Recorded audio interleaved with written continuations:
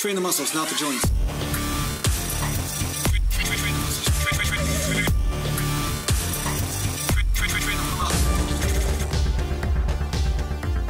Welcome back to Natural Gallant Bodybuilding, Mountain.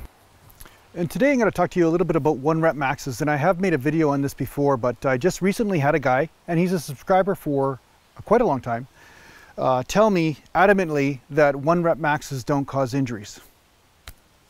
So I guess I have to make this video again.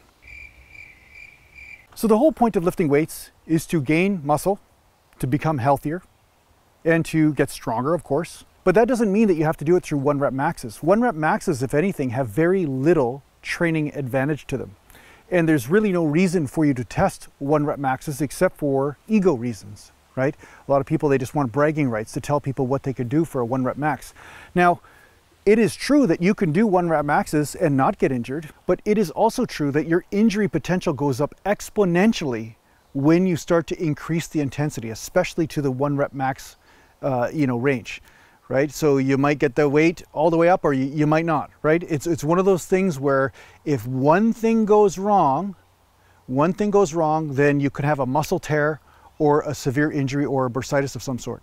Now, the other thing that people don't understand is that when you're doing a one rep max and everything is perfect or functioning right in your body, which is rare, because as you go along this game for periods of time, you start to realize that sometimes a shoulder is a little bit off, or maybe you had a minor tear or a labral issue or something that is not necessarily perfect.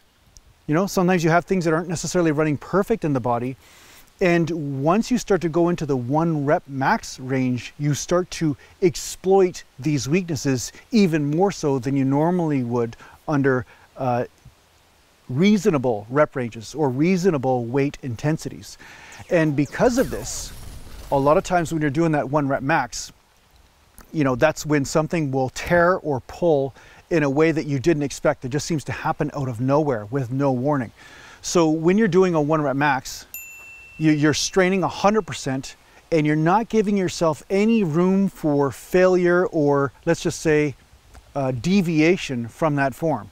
If the form deviates a little bit, that can cause a career-ending injury right, right then and there. And I've seen it happen. I've watched a guy tear his pec on the bench.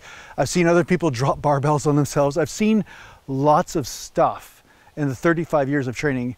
And any person out there, any advanced person for sure, like a lot of the, even the strength guys, even the strength guys will tell you that there's very little training advantages to testing your one rep maxes.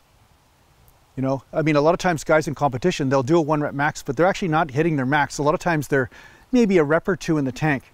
And even then, you see a lot of powerlifters tearing pecs or having massive, massive injuries from testing that one rep max. But that is an accepted risk that they take part in when they're doing that sport, right? But is that the ideal way for you to train and to maintain longevity in the gym?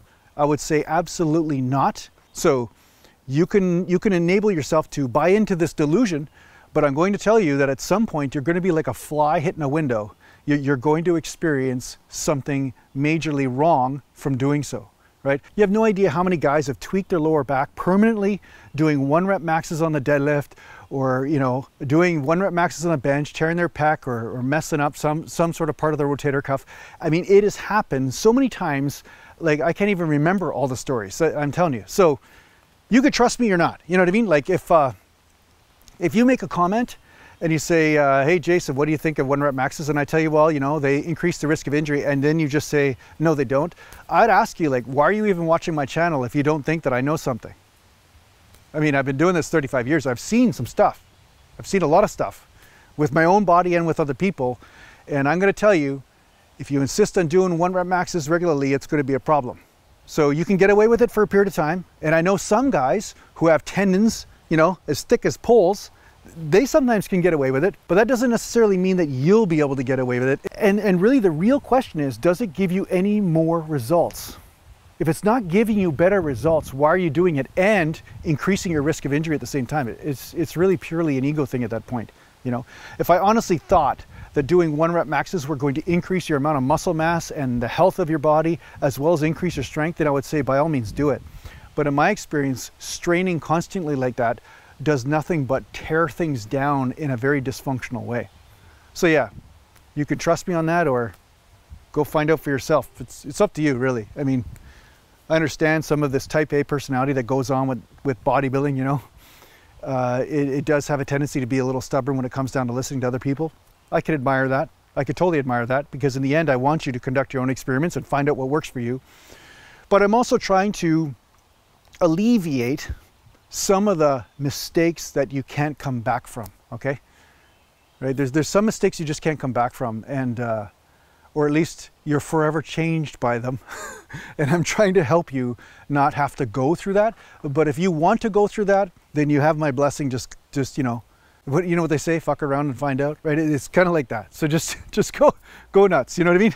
I'll love you anyway. You know, it's not like I haven't made mistakes, but that's why I'm here telling you the mistakes that I made. I'm trying to give you that information. So yeah, take it or leave it. You know, these monst these monsters in the woods.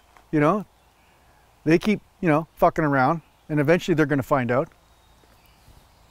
Yeah, they're going to find out, you know, the many uses for an exercise stick.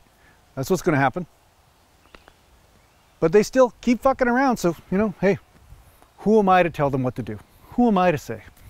Mountain. So anyway, I hope this helps you out in your training. Thanks a lot for watching. If you need to get a hold of me, just go to naturalgallantbodybuilding.com and thanks to the Patreon supporters and take care for now.